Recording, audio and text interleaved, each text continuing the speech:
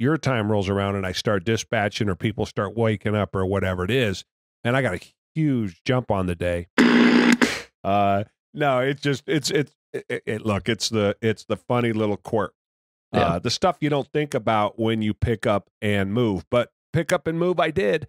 Um, I got out of Portland, and we've been here now for about three weeks. I'm going to split my time between Portland and and uh, and Tennessee down here, and off to a good start so far. It's cool. This is my the the the the podcast room is serving also as my office, and so uh, there has been lots of work done. I think uh, from Billy had me up and running the day after we got here, give or take, uh, and I've been working from here much more. Uh, I've been working from here efficiently, and the cool thing is, is that that working from here, uh, when I decided that I was going to spend more time, I was going to move this way uh, and spend more time down here.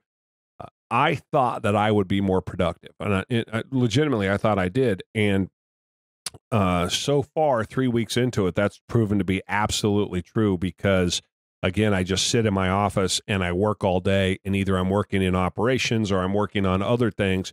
Uh, but there's nobody to come bug me.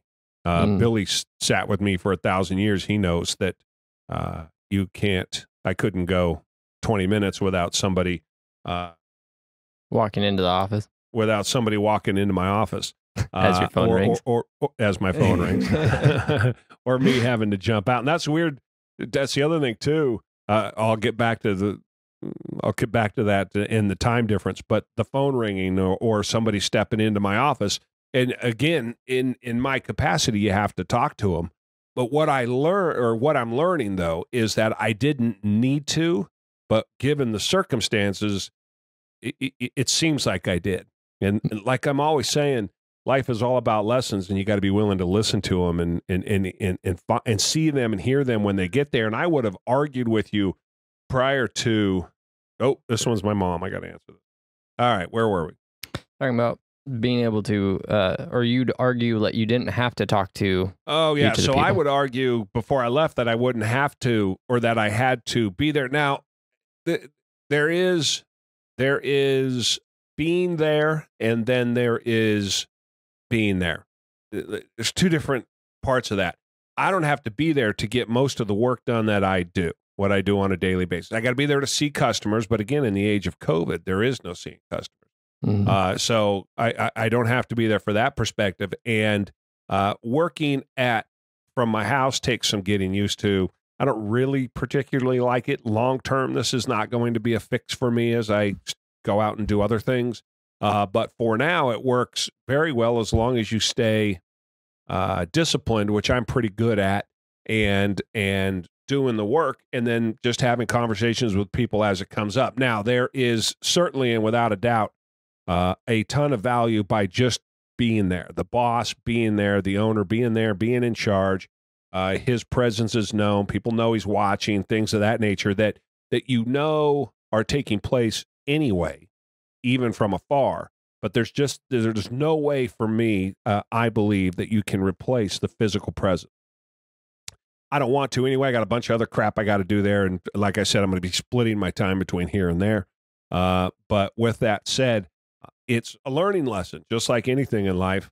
Uh, and this one, as much as any, I had a good idea this was going to work, uh, that I could work from here as well as I could from there. Um, I had a good idea that I was going to be much more productive than I was there uh, when I'm here. Uh, and those two things have proven to be 100% true. Uh, the, the, the weird thing is, is the hours. That's probably the thing that's got me screwed up the most. So as I sit here talking to you, I'm in what are we? It's six o'clock your time. Yep. So it's eight fifteen at night my time, uh, and I'm in hour twelve of working. Uh, if we count the gym, I'm in hour fourteen of working, uh, and uh, so it's easy for those two hours to get lost. And then, as I sit in my office all day and just work and work, and I'm the type I just work. I mean, I barely go to the bathroom. I just sit and work and work and work. And like I'm dispatching all this week because my dispatcher's on vacation. So I really don't get up and move hardly at all.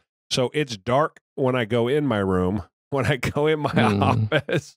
and then it's dark when I leave my office, except that it's only, you know, if I leave it at five, if I finish the the day dispatching like I did last night, and I got out of my office about five five thirty, and then it's pitch black outside. Well, it's pitch black at three Mm-hmm. my time.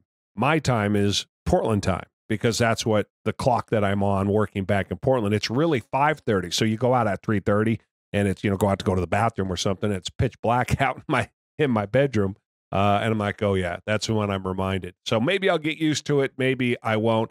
Um, but the effect of it has been an additional two. Really, the effect of it has been an additional two hours of of workday for me. That's Yeah. that's that's what it comes down to. Um, because I refuse to get up at four o'clock in the morning.